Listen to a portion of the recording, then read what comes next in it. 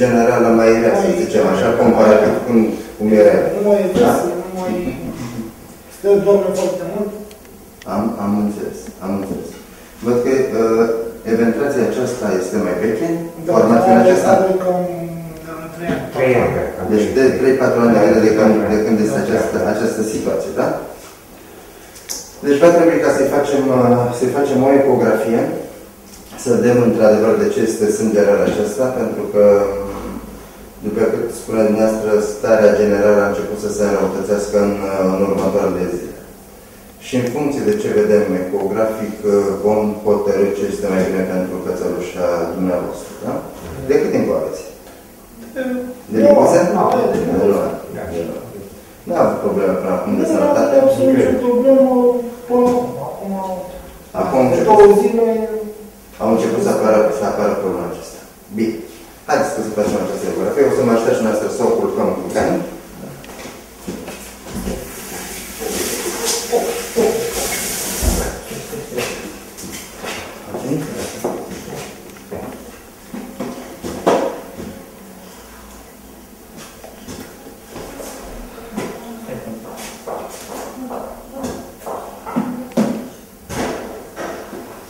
Ia să vedem ce probleme avem aici.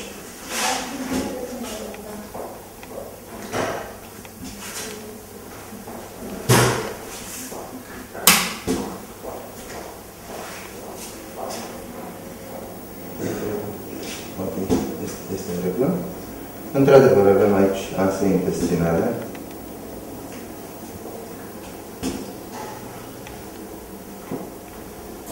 Oh, oh, oh, oh. Aici sunt destul de mari probleme. Cățelușa noastră a făcut? Nu, Vreodată? niciodată. Nu a făcut niciodată.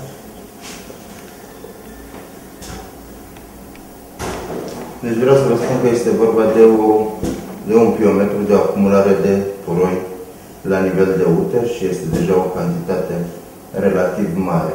Probabil că din cauza acesta starea proastă.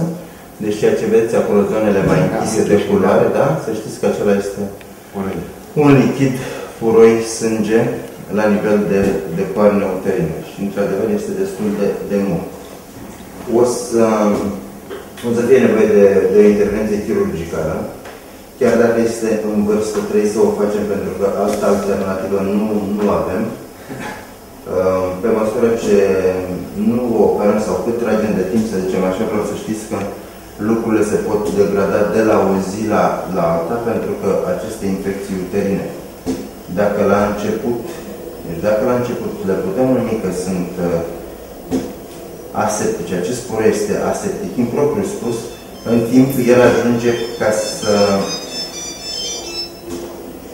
să devină ceva septic și cu repercursiuni destul de, de neplăcute asupra organismului, de la ajungând să chiar la această stare septicotoxică. Deci vreau să spun că este destul de mult, destul de mult. O să,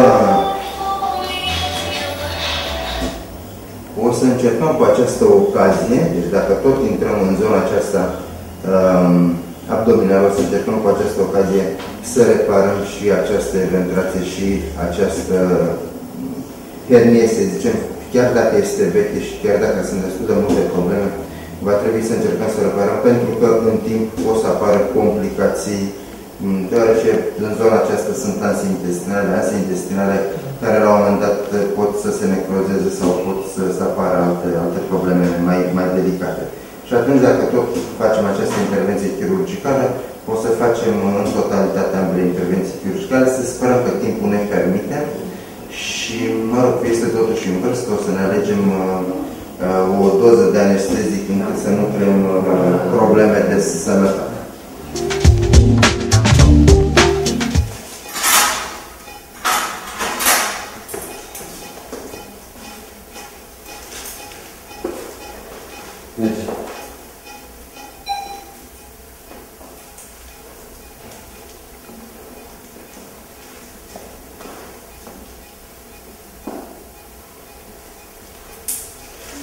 Într-adevăr, acest gen de intervenții chirurgicale pot să pună probleme deoarece ele apar la o vârstă înaintată sau Când avem norocul să apară, când animaluțele sunt mai tinere, atunci lucrurile merg, merg bine.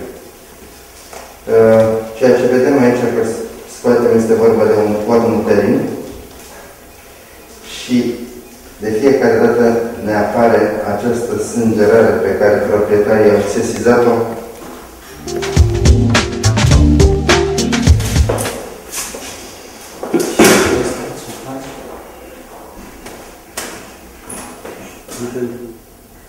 Deci ce s-a întâmplat acolo? Exact cum v-am spus, o să vă arăt uh, uh, o să vă arăt ceva mai târziu acel în cu curoi. O să vedeți cam ce am scos de acolo. Uh, după cum vedeți, în zona aceasta care era destul de umflată, da?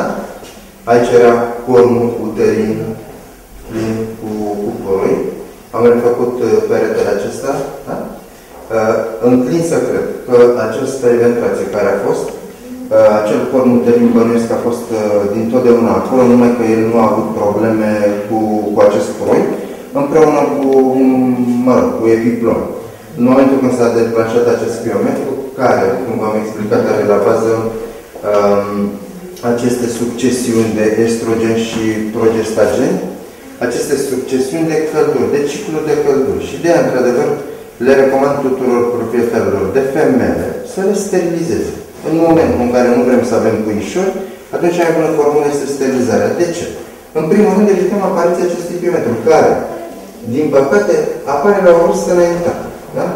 Și, într-adevăr, pune uh, sănătatea animalului pune în joc. Pentru că, pentru că uh, pot să apară probleme renale, disfuncții de renale, disfuncții hepatice, pot să apară infecții, pot să apară peritonită, pot să apară stări toxice, destul de, de grave și ne luptăm de multe ori cu această boală și sunt situații când ne scapă de sub control și ne învinge sau învinge animalul respectiv. De aceea, recomandarea noastră este, dacă mai aveți femele, să veniți să le sterilizați. Este cea mai bună metodă pentru a nu se ajunge la această situație. Dar și operația de curs uh, foarte bine, nu au fost probleme. Într-adevăr, uh, a fost o situație aici, în zona aceasta de, de perete, fiind fiind undeva destul de, de, de pe bine poziționată, este foarte greu de refăcut acel perete ca să, da? pentru că, cum am spus, în acel orificiu care, unde a fost acest cormutel, de data aceasta poate să intre vezica urinară sau poate să intre masă intestinală, să-și stranguleze și să apară destul de repede complicații. Um, de revenit din anestezie o să-și revină în câteva ore, o să-ți revină bine. În câteva ore va trebui veni la tratament mai multe zile la rând, deoarece este, este mai în vârstă. Um, trebuie să știți că este posibil ca de la anestezie să și vomite, nu trebuie să ne speriem. Este, până la urmă, nu este normal, dar așa se, se întâmplă. Noi să facem și un tratament pentru această situație. Uh, vindecarea, vindecarea se va face în decurs de 7-8 zile. Da? Nu ne interesează ca și plagă operatorului. Deci asta se vindecă oricum. Problema este, problema este să urmărim, să vedem, să venim în fiecare zi, pentru că este posibil ca ea să nu mănânce, este posibil ca să nu se simtă în formă, să nu se simtă absolut deloc bine, uh, datorită acestor uh, uroi în, în uter. Dar asta e ureul și a fost extirpat. Acum am scos suterul cu totul, cu uroi cu totul, cu ovare, cu totul, s-a făcut o variohisterectomie și o să vă arăt, uh, o să vă arăt imediat ce, ce terminăm o să vă arăt ceea ce este în acel uter, ca să vă dați seama cam ce cantitate de puroi o să, o să, o să găsim, da?